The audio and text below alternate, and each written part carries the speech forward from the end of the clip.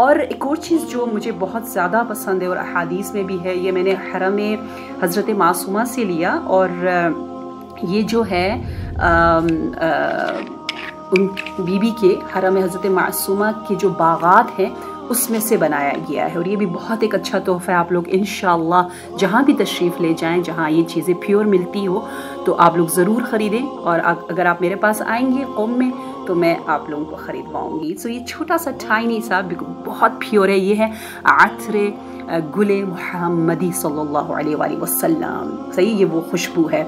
इसको रात को सोने से पहले सूंघने से आपको बहुत अच्छी नींद आती है और बहुत ज़्यादा आप पीसफुल हो जाते हो।